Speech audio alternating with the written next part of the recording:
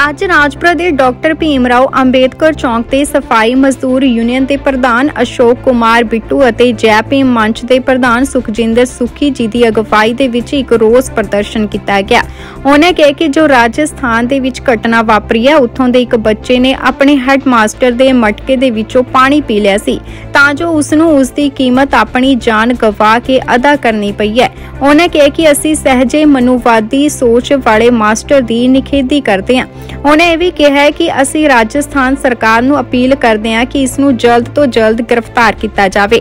ਇਸ ਮੌਕੇ ਤੇ ਹੋਰ ਕੀ ਕੁਝ ਕਹਿਣਾ ਸੀ ਦਲਿਤ ਨੇਤਾ ਜੈ ਭੀਮ ਮੰਚ ਦੇ ਪ੍ਰਧਾਨ ਸੁਖਜਿੰਦਰ ਸੁਖੀ ਦਾ, ਆਓ ਤੁਹਾਨੂੰ ਵੀ ਸੁਣਾਉਂਦੇ ਹਾਂ। ਅੱਜ ਦਾ ਦੇਖੋ ਜਿਹੜਾ ਪ੍ਰੋਟੈਸਟ ਹੈ, ਇਹ ਸਾਡੇ ਸਫ਼ਾਈ ਮਜ਼ਦੂਰ ਯੂਨੀਅਨ ਮੇਰੇ ਵੱਡੇ ਵੀਰ ਜੀ ਅਸ਼ੋਕ ਕੁਮਾਰ ਬਿੱਟੂ, ਜੈ ਭੀਮ ਮੰਚ ਤੇ ਜਸਵੀਰ ਪ੍ਰਧਾਨ ਜੀ ਸਾਡੇ ਤੇ ਮਦਨ ਪ੍ਰਧਾਨ ਜੀ, ਇਹ ਸਾਰਿਆਂ ਦੀ ਜਿਹੜੀ ਰਹਿਨਮਾਈ 'ਚ ਇਹ ਜਿਹੜਾ ਪ੍ਰੋਟੈਸਟ ਹੋ ਰਿਹਾ ਇਹ ਰਾਜਸਥਾਨ 'ਚ ਬੜੀ ਦੁਖਦਾਇਕ ਘਟਨਾ ਹੋਈ ਹੈ, ਜਿਸ ਘਟਨਾ ਦੇ ਵਿੱਚ ਇੱਕ ਬੱਚੇ ਨੂੰ ਸਿਰਫ ਇਸ ਲਈ ਮੌਤ ਦੇ ਘਾਟ ਉਤਾਰ ਦਿਆ ਜਾਂਦਾ ਹੈ ਕਿ ਉਹਨੇ ਜਿਹੜੇ ਉੱਥੇ ਦੇ ਹੈੱਡਮਾਸਟਰ ਹੈ, ਉਹਦੇ ਮਟਕੇ 'ਚੋਂ ਪਾਣੀ ਪੀ ਲਿਆ। ਤੇ ਅੱਜ ਅਸੀਂ ਉਸ ਰੋਸ਼ ਵੱਲੋਂ ਇੱਥੇ ਇਕੱਠੇ ਹੋਏ ਆ ਤੇ ਜਿਹੜਾ ਅਸੀਂ ਅੱਜ ਮਨੂਵਾਦੀ ਉਹ ਕਾਤਲ ਮਟਕਾ ਹੈ ਤੇ ਜਿਹਦੇ ਵਿੱਚ ਪਾਣੀ ਕੈਦ ਕੀਤਾ ਗਿਆ ਸੀ, ਉਹ ਵੀ ਅਸੀਂ ਆਜ਼ਾਦ ਕਰਾਇਆ ਹੈ।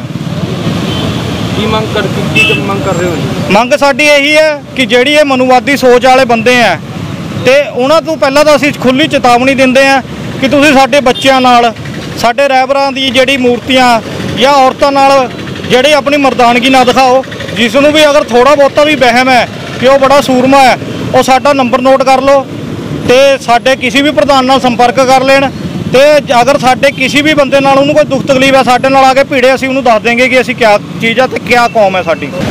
ਮੈਂ ਆਪਣੇ WhatsApp ਤੇ ਵੀਡੀਓ ਦੇਖੀ ਸੀਗੀ, ਜਿਹੜੀ ਰਾਜਸਥਾਨ ਦੀ ਆ। ਵੀ ਕਿਦਾਂ ਇੱਕ ਟੀਚਰ ਆਪਣੇ ਬੱਚੇ ਨੂੰ ਕੁੱਟ ਰਿਹਾ।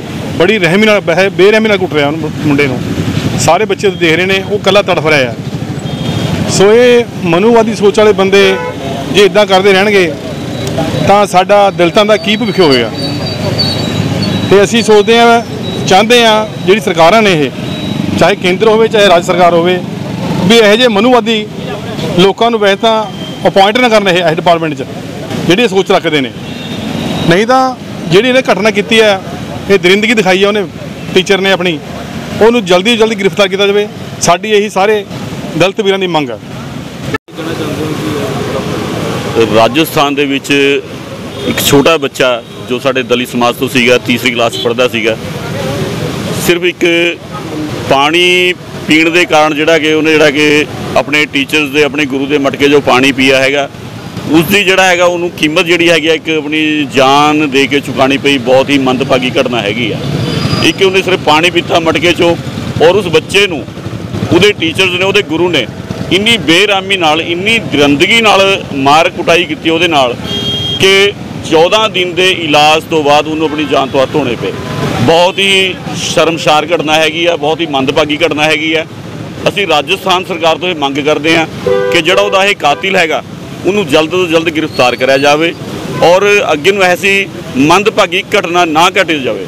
ਜੇਕਰ ਐਦਾਂ ਇਸ, ਜਿਹੜਾ ਹੈ ਮਨੁਵਾਦੀ ਸੋਚ ਵਾਲੇ ਬੰਦਿਆਂ ਨੂੰ ਸਜ਼ਾ ਨਾ ਮਿਲੀ, ਤਾਂ ਇਹ ਜਿਹੜੀ ਅੱਗ ਹੈਗੀ ਅੱਜ ਰਾਜਸਥਾਨ ਦੇ ਵਿੱਚ ਹੈਗੀ ਹੈ ਇਹ ਇਦਾਂ ਹੀ ਅੱਗੇ ਵੱਧਦੀ ਜਾਏਗੀ ਔਰ ਉਹਦੇ ਨਾਲ ਮਾਹੌਲ ਖਰਾਬ ਹੋਏਗਾ। ਜੇਕਰ ਇਹ ਮਾਹੌਲ ਖਰਾਬ ਹੁੰਦਾ ਹੈਗਾ, ਤਾਂ ਉਹਦਾ ਜਿਹੜਾ ਹੈਗਾ, ਖਾਮਿਆਜ਼ਾ ਜਿਹੜਾ ਹੈਗਾ, ਉਹ ਫਿਰ ਸਰਕਾਰਾਂ ਨੂੰ ਭੁਗਤਣਾ ਪਏਗਾ। ਉਹਦੀ ਜ਼ਿੰਮੇਵਾਰੀ ਜਿਹੜੀ ਹੈਗੀ ਆ, ਇਹ ਸਰਕਾਰ ਦੀ ਹੋਏਗੀ।